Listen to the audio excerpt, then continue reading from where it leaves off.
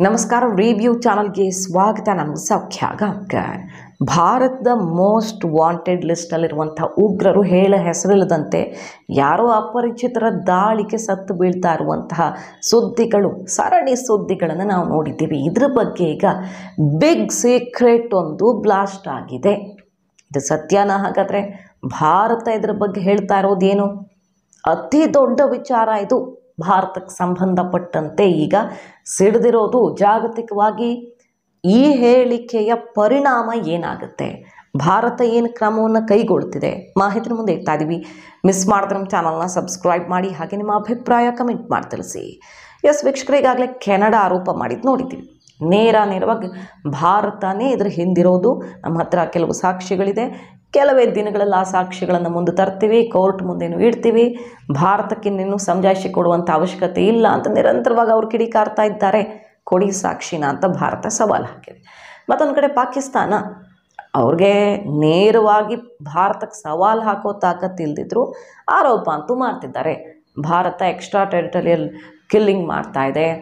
ಕೆನಡಾದಲ್ಲಿ, ಪಾಕಿಸ್ತಾನದಲ್ಲಿ ಸ್ಥಳೀಯ ಕೆಲವು ಉಗ್ರರು ಹಾಗೆ ಪಾತಕಿಗಳನ್ನು ಬಳಸ್ಕೊಂಡು ಪಾಕಿಸ್ತಾನದಲ್ಲಿ ಇಂಥದ್ದನ್ನು ಮಾಡ್ತಾ ಇದೆ. ಇಲ್ಲಿ ಬ್ಲಾಸ್ಟ್ಗೆ, ದಾಳಿಗೆ ಪ್ಲ್ಯಾನ್ ಮಾಡ್ತಾ ಇದೆ. ಇಂಥದ್ದೆಲ್ಲ ಆರೋಪಗಳನ್ನು ಮಾಡ್ಕೊಳ್ತಿದ್ದಾರೆ. ಅಲ್ಲಿ ನಮ್ಮ ಮಾಧ್ಯಮಗಳಲ್ಲಿ ಚರ್ಚೆ ಆಗ್ತಿದೆ. ಅಲ್ಲಲ್ಲೇ ಇಂಥದ್ದೆಲ್ಲ ಸದ್ದು ಮಾಡ್ತಾ ಇದೆ. ಈಗ ಅತಿ ದೊಡ್ಡ ಸೀಕ್ರೆಟ್ ಭಾರತಕ್ಕೆ ಸಂಬಂಧಪಟ್ಟಂತೆ ಸಿಡಿಸಿರೋದು ದೊಡ್ಡಣ್ಣ ಅಮೇರಿಕ.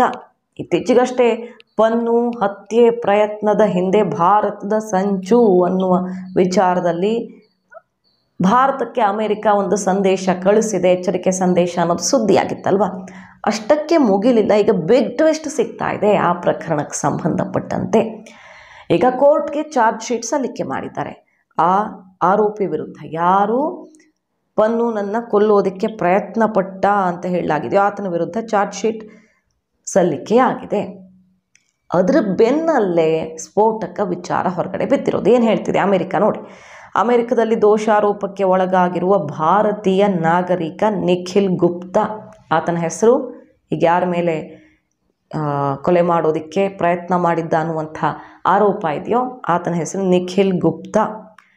ಈತ ಭಾರತದ ಅಧಿಕಾರಿಯೊಬ್ಬರ ಜೊತೆಗೆ ನಂಟಿನಲ್ಲಿದ್ದ ಎರಡು ಸಾವಿರದ ಇಪ್ಪತ್ತ್ಮೂರರಲ್ಲಿ ಡೆಲ್ಲಿಯಲ್ಲಿ ಭಾರತದ ಈ ಅಧಿಕಾರಿಯನ್ನು ನಿಖಿಲ್ ಗುಪ್ತಾ ಭೇಟಿಯಾಗಿ, ಇದರ ಮೇಲೆ ತುಂಬ ಕೇಸ್ಗಳಿವೆ.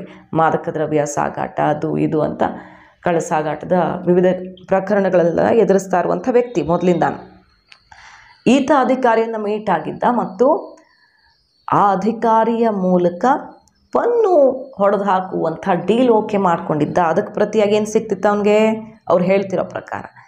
ಗುಜರಾತ್ನಲ್ಲಿ ನಿನ್ನ ವಿರುದ್ಧ ದಾಖಲಾಗಿರುವ ಕ್ರಿಮಿನಲ್ ಪ್ರಕರಣಕ್ಕೆ ಮುಕ್ತಿ ಕೊಡಿಸಲಾಗುವುದು ಅಂತ ಡೀಲ್ ಆಗಿತ್ತು. ಅಮೆರಿಕದಲ್ಲಿ ಕ್ಯಾಲಿಫೋರ್ನಿಯಾ ಮತ್ತು ನ್ಯೂಯಾರ್ಕ್ ಟಾರ್ಗೆಟ್ ಆಗಬೇಕು ಅನ್ನುವ ಮೆಸೇಜ್ ಇಬ್ಬರ ನಡುವೆ ಹರಿದಾಡಿದ್ದು ಅಂತ ಅಮೆರಿಕ ಈಗ ಆರೋಪ ಮಾಡ್ತಾ ಇರೋದು. ಆರೋಪ ಅಂದರೆ ಹೇಳ್ತಾ ಇರೋದು, ದೋಷಾರೋಪ ದಾಖಲಾಗಿದೆ. ಆಲ್ರೆಡಿ ಕೋರ್ಟ್ಗೆ ಸಲ್ಲಿಕೆ ಆಗಿದೆ. ಭಾರತಕ್ಕೆ ಅಮೆರಿಕದಿಂದ ಇಬ್ಬರು ಅಧಿಕಾರಿಗಳು ಬಂದು ನಮ್ಮ ಸರ್ಕಾರ ಜೊತೆಗೆ ಈ ಕೇಸ್ಗೆ ಸಂಬಂಧಪಟ್ಟಂತೆ ಮಾತುಕತೆ ನಡೆಸಿದ್ದಾರೆ. ಈಗ ಭಾರತ ಇದಕ್ಕೆ ರವಾನಿಸಿರುವ ಸಂದೇಶ, ಅಧಿಕೃತ ಸಂದೇಶ ಏನು? ಇದು ಕಳವಳಕಾರಿ ಅಂತ. ಈ ರೀತಿ ಹೇಳ್ತಾ ಇರೋದು ಅತ್ಯಂತ ಕಳವಳಕಾರಿ. ಭಾರತದ ಕೈವಾಡ ಇದೆ. ಭಾರತದ ಅಧಿಕಾರಿಯ ಮೂಲಕ ಹೀಗಾಗಿದೆ. ಕೇಸ್ ರದ್ದು ಮಾಡಿಕೊಡ್ತೀವಿ. ನಿನ್ನ ಮೇಲಿರೋದು ಆತನನ್ನು ಹೊಡೆದು ಹಾಕುವಂಥ ಡೀಲ್ ಆಗಿತ್ತು ಅಂತೆಲ್ಲ ಅಮೇರಿಕ ಹೇಳ್ತಿರೋದು. ಅತ್ಯಂತ ಕಳವಳಕಾರಿ ನಾವು ಇದಕ್ಕೆ ಉತ್ತರ ಕೊಡ್ತೀವಿ ಅನ್ನುವಂಥ ಸಂದೇಶ. ಮತ್ತು ತನಿಖೆಗೆ ನಾವು ಸಹಕರಿಸ್ತೀವಿ. ಅಮೇರಿಕ ಏನು ತನಿಖೆಯನ್ನು ಕೈಗೆತ್ತಿಕೊಳ್ಳುತ್ತೆ. ಅದಕ್ಕೆ ಸಹಕರಿಸ್ತೀವಿ ಅನ್ನುವ ಮೆಸೇಜನ್ನು ಕೊಟ್ಟಿದೆ. ಕೆನಡಾಗೆ ನಾವು ಕೊಡ್ತಾ ಇಲ್ಲ ಅಂಥ ಮೆಸೇಜನ್ನು ಏನಾದರೂ ಸಣ್ಣ ಸಾಕ್ಷಿ ಕೊಡಿ ನೀವು ಅಂತ ಭಾರತ ಹೇಳಿದೆ. ಬಟ್ ಅಮೇರಿಕ ನಮ್ಮ ಹತ್ರ ಸಾಕ್ಷಿ ಇದೆ ಅಂತ ಹೇಳ್ತಿರೋದು. ಈ ನಿಖಿಲ್ ಗುಪ್ತಾ ಮತ್ತು ಅಧಿಕಾರಿ ನಂಟಿನ ಬಗ್ಗೆ ಭಾರತ ಸದ್ಯ ಅಮೇರಿಕಾಗೆ ಸಹಕರಿಸೋದಾಗಿ ಹೇಳಿದೆ. ಅಷ್ಟೇ ಅಲ್ಲ, ಇಲ್ಲಿ ಭಾರತ ಒಳಗಡೆ ಒಂದು ತನಿಖೆ, ಆಳವಾದ ತನಿಖೆಗೂ ಆದೇಶ ಆಗಿದೆ. ಸೊ ಈ ಪ್ರಕಾರವಾಗಿ ನೋಡೋಕೆ ಹೋದರೆ ಪನ್ನು ಸಾಯಿಸುವಂಥ ಯತ್ನ ವಿಫಲವಾಗಿದೆ. ಬಟ್ ಭಾರತದ ಕೈವಾಡ ಅಧಿಕಾರಿಯ ಮೂಲಕ ಡೀಲ್ ಅಂತ.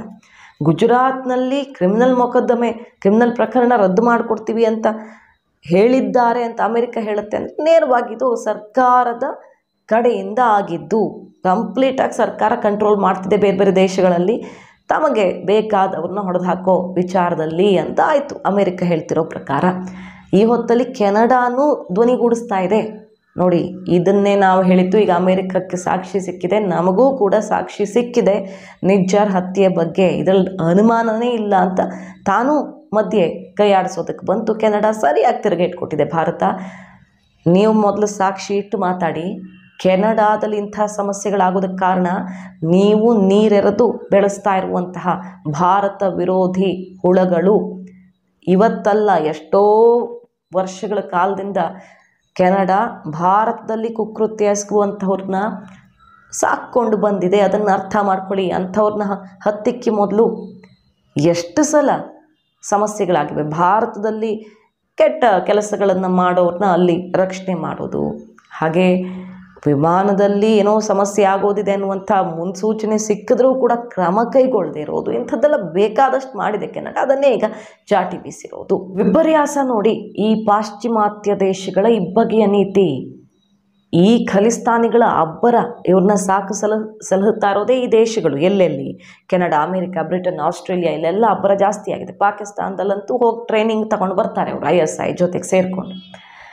ಇಲ್ಲೆಲ್ಲ ಪಾಶ್ಚಿಮಾತ್ಯ ದೇಶಗಳ ವಿಚಾರ ತಗೊಂಡ್ರೆ ಮೋದಿಯವ್ರನ್ನ ದೇಶದ ಪ್ರಧಾನಿಯನ್ನು ಮುಗಿಸುವಂಥ ಸಂದೇಶ ಕೊಡೋದು, ಬ್ಯಾನರ್ಗಳನ್ನು ಹಾಕೋದು, ಗುರುದ್ವಾರದ ಹೊರಗಡೆ ರಾರಾಜಿಸುವಂಥ ಪೋಸ್ಟರ್ಗಳು, ಹಾಗೆ ನಮ್ಮ ಸೀನಿಯರ್ ಆಫೀಸರ್ಸ್ನ ಟಾರ್ಗೆಟ್ ಮಾಡೋದು, ಅಲ್ಲಿರುವಂಥ ನಮ್ಮ ದೂತಾವಾಸ ಕಚೇರಿಯಲ್ಲಿ ಸಮಸ್ಯೆ ಮಾಡೋದು, ಆಫೀಸ್ಗೆ ಟಾರ್ಗೆಟ್ ಮಾಡೋದು, ಆ ದೇಶಗಳಲ್ಲಿ ವಾಪಸ್ ವಾಸ ಮಾಡುವಂಥ ನಮ್ಮ ಭಾರತೀಯರು ಸಿಕ್ಕಾಪಟ್ಟೆ ಸಲ ಟಾರ್ಗೆಟ್ ಆಗಿದ್ದಾರೆ ಖಲಿಸ್ತಾನಿಗಳಿಂದ. ಅವರು ಆ ದೇಶದ ಸರ್ಕಾರ ಕಂಪ್ಲೇಂಟ್ ಮಾಡಿದ್ರು, ಏನು ಆ್ಯಕ್ಷನ್ ಇಲ್ಲ.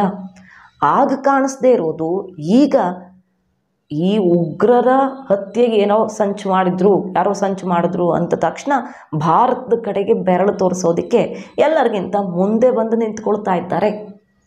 ಬೆಸ್ಟ್ ಫ್ರೆಂಡ್ ಅಂತ ಹೇಳ್ಕೊಳ್ತಿರುವ ಅಮೆರಿಕದ ಮುಖವಾಡ ಈಗ ಬಯಲಾಗ್ತಾ ಇದೆ ನೋಡಿ. ಅಮೆರಿಕ ತಾನು ಟಾಪಲ್ಲಿರೋದಕ್ಕೆ ಯಾರು ಶತ್ರುನೂ ಅಲ್ಲ, ಯಾರು ಮಿತ್ರನೂ ಅಲ್ಲ ಅನ್ನುವಂತಹ ಸಿದ್ಧಾಂತ ಮಾತ್ರ ಅನುಸರಿಸತ್ತೆ. ಅವಶ್ಯಕತೆಗೆ ತಕ್ಕಂತೆ. ಭಾರತ ಕೂಡ ಅದೇ ದಾಟಿಯಲ್ಲಿ ಉತ್ತರ ಕೊಡೋದಕ್ಕೆ ಸಿದ್ಧತೆ ಮಾಡಿಕೊಳ್ತಾ ಇದೆ. ಒಟ್ಟಿನಲ್ಲಿ ವಿವಿಧ ರಾಷ್ಟ್ರಗಳಲ್ಲಿ ಭಾರತಕ್ಕೆ ಬೇಕಾದವರು ಹೆಂಗೆ ತನ್ನ ತಾನೇ ಕಣ್ಣು ಮುಚ್ಚುತ್ತಿದ್ದಾರೆ? ಯಾರವ್ರನ್ನ ಕೊಲ್ತಿದ್ದಾರೆ ಅಂದರೆ ಇದು ರಹಸ್ಯ ಅಂತ ಅಮೆರಿಕ, ಕೆನಡಾ ಹೇಳ್ತಿರೋದೀಗ.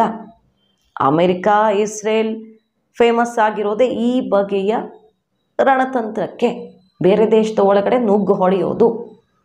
ಅದೇನೇ ಇರಲಿ, ಭಾರತದ ಪವರ್ ಜಾಸ್ತಿ ಆಗಿದೆ ಬಟ್ ಇಂಥ ಆರೋಪಗಳನ್ನು ಒಪ್ಕೊಳ್ಳೋಕ್ಕಂತೂ ಆಗಲ್ಲ. ಸಾಕ್ಷಿ ಸಮೇತ ತೋರಿಸಿ ಅವರು ಸಾಬೀತುಪಡಿಸ್ಬೇಕಾಗತ್ತೆ.